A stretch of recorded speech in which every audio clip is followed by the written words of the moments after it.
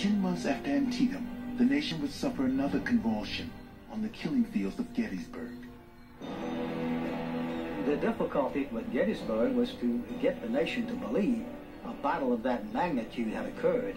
Three days of intense fighting, over 50,000 casualties. Gettysburg was a little town of 2,500 people. By July 4th, there were 22,000 wounded men inside the town, 10 times the number of wounded soldiers as there were citizens of the town. At Gettysburg, one reporter would face his greatest challenge. Sam Wilkeson was a reporter for the New York Times, an excellent reporter, uh, known for his both his passion to accurately report the war and for his support of the Union cause. His son, Bayard Wilkeson, was an officer in the 4th U.S. Artillery at Gettysburg. Arriving at the front, Sam learned that Bayard had been gravely wounded, his leg shattered by a cannonball, and was now trapped behind enemy lines. His exact condition unknown. One can only imagine the stress that that placed him under. However, he went about compiling the information that he needed to present the New York Times readers with an account of this uh, tremendously dramatic and momentous battle.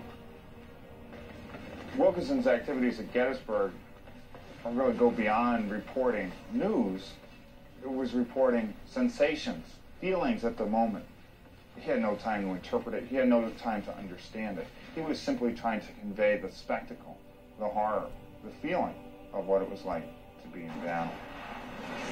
Every size and form of shell known to gunnery shrieked, whirled, moaned, whistled, and wrathfully fluttered over our ground.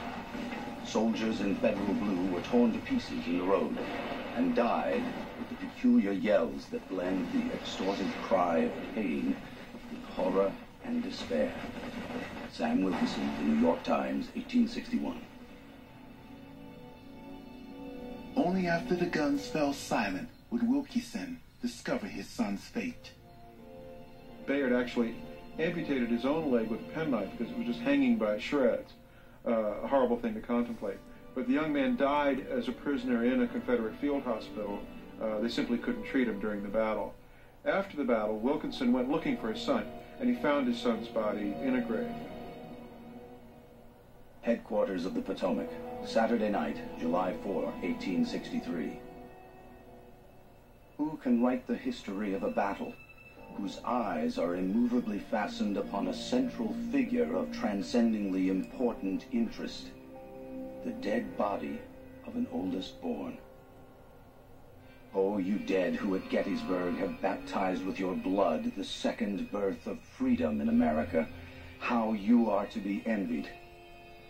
I rise from a grave whose wet clay I have passionately kissed, and I look up and see Christ spanning this battlefield and reaching fraternally and lovingly up to heaven.